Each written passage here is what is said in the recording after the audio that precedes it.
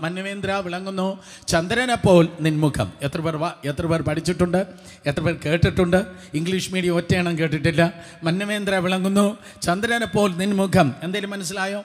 മന്നവേന്ദ്ര വിളങ്ങുന്നു. ചന്ദ്രനെ പോൽ നിൻമുഖം. സ്തോത്രം ഇംഗ്ലീഷ് മീഡിയം പഠിച്ച ആർക്കും മനസ്സിലായില്ല. രാജാവേ അങ്ങയുടെ മുഖം ആരെപ്പോലെ വിളങ്ങുന്നു? ആരെപ്പോലെ ശോഭിക്കുന്നു? ചന്ദ്രനെ പോലെ ശോഭിക്കുന്നു. ചന്ദ്രൻ എന്ന് പറഞ്ഞാൽ അപ്പുറത്തെ ചന്ദ്രനല്ല. ആകാശത്ത് നിൽക്കുന്ന മൂൺ സ്തോത്രം ചന്ദ്രനെ പോലെ ശോഭിക്കുന്നു. സോ ഇതൊരു ഉപമാനമാണ് കവി ഉദ്ദേശിച്ചത് തന്റെ മുൻപിലിരിക്കുന്നതായ ഈ രാജാവ് ചന്ദ്രനെ പോലെ നിന്റെ മുഖം ഇതാ ശോഭിക്കുന്നു. സ്തോത്രം. ആ കവി അങ്ങ് പറയുകയാണ്. ഇല്ലെങ്കിൽ ചിലപ്പോൾ കവിയുടെ തല കാണത്തില്ല. പറയുന്നത് രാജാവിനോടാണ്. സ്തോത്രം. രാജാവിന്റെ മുഖം ചിലപ്പോൾ സോടാക്കുപ്പി പോലെ ആയിരിക്കും. പക്ഷെ എന്നാലും കവി സ്വന്തം നിലനിൽപ്പിന് വേണ്ടി അങ്ങ് എക്സാജുറേറ്റ് ചെയ്ത് കയ്യിൽ നിന്നിട്ടൊക്കെ പറയുകയാണ്. നിന്റെ മുഖം ചന്ദ്രനെ പോലെ വിളങ്ങുന്നു എന്ന്. അത് കേട്ട് നിന്നിട്ട് ഓഹോ ചന്ദ്രനാണോ? ചന്ദ്രൻ ഭൂമിയിൽ നിന്ന് ഇത്ര ഉയരത്തിലാണ്. ചന്ദ്രൻ ഇത്ര വലിപ്പമാണുള്ളത്.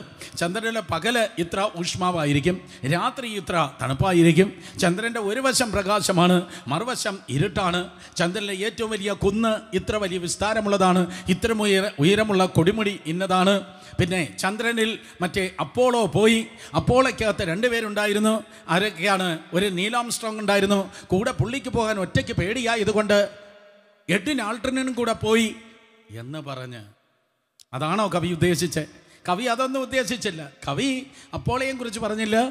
സ്തോത്രം. നീലാം സ്ട്രോങ്ങിനെ പുള്ളിക്ക് അറിയത്തില്ല. എഡിനാട്ടറിനെ അറിയത്തില്ല. കവി ഈ മുന്നിൽ നിൽക്കുന്ന അതെ രാജാവിനിട്ടൊന്ന് താങ്ങിയതാണ്. രാജാവിനിട്ട് ഒന്ന് സോപ്പിട്ടതാണ്. മന്നവേന്ദ്ര വിളങ്ങുന്നു ചന്ദ്രനെ പോലെ നിൻമുഖം.